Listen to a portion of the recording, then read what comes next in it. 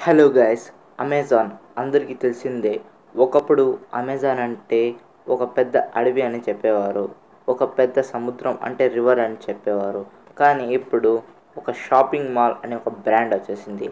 దీని వెనుక ఉన్న కథ ఏంటంటే అమెజాన్ లోగో కింద ఏఎంఏజెడ్ఓఎన్ అమెజాన్ ఉండదు కదా? కింద ఏ టు జెడ్ ఆరో ఉంటుంది గాయస్ అది ఏంది సూచిస్తుందంటే అమెజాన్లో ఏ టు జెడ్ ఐటమ్స్ అవైలబుల్గా ఉంటాయని.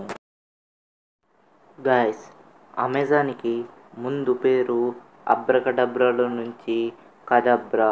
కడబ్రా అనేది అమెజాన్ కంపెనీ ఫస్ట్ పేరు. కడబ్రా అంటే శవమని మళ్ళీ అమెజాన్కి మార్చారు.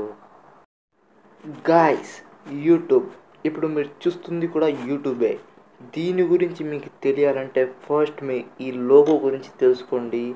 ఇది three colours primary logo white black and red కాంబినేషన్లో క్రియేట్ చేశారు గాయస్ దీన్ని ఎ- ఎట్లా క్రియేట్ చేశారంటే ప్లీజింగ్ ఇమేజ్ దీన్ని చూస్తే ప్రశాంతత ఉంటుంది. గైస్ యూట్యూబ్ అంటే something somewhere video sharing platform అంటే సపోజ్ సోషల్ మీడియానే అనుకోండి. ఆల్రెడీ అది సోషల్ మీడియానే కానీ యూట్యూబ్ అంటే యూట్యూబ్ అల్టిమేట్ బెస్ట్ ఎవర్ అని గైస్ దీని గురించి చాలామంది తెలియదు గూగుల్లో కూడా రాలేదు. ఫస్ట్ టైం నేను చెప్తున్నాను గైస్ గాయస్ ప్రముఖ కార్ల కంపెనీ బెంజ్ కార్ లోగో మీరు చాలామంది గమనించే ఉంటారు. దానిపైన త్రీ నీడిల్స్ లాగా ఒక సింబల్ ఉంటుంది. అది ఊరికే పెట్టలేదు గాయస్ దాని వెనుక చాలా పెద్ద కథ ఉన్నది అంటే కథ అంటే స్టోరీ కాదు. జస్ట్ ఒక లైన్ ఉన్నది ఈ త్రీ న్యూస్ వచ్చి వాయు అంటే గాలి వర్షం పృథ్వీ అంటే గాలి నీళ్ళు భూమిని సూచిస్తాయి.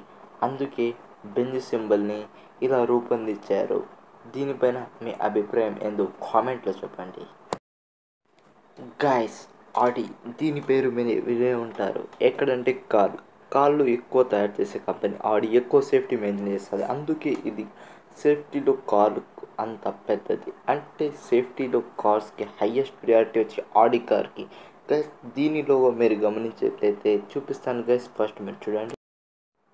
గైస్ ఆడి అంటే ఒకే కంపెనీ కాదు. ఇది నాలుగు కంపెనీలు గైస్ అంటే ఆడి డీకేడబ్ల్యూ హార్ట్స్ ఆటోమొబైల్ అనే నాలుగు కంపెనీలు కలిసి ఒక కంపెనీగా నిలిచిన కంపెనీ ఆడి అంటే ఫోర్ సర్కిల్స్ గమనించి ఉంటారు కదా గైస్ ఈ ఫోర్ కంపెనీలు కలిసి ఒక కంపెనీని స్థాపించాయి. అందుకే ఈ ఫోర్ సర్కిల్స్ దానికి గుర్తు.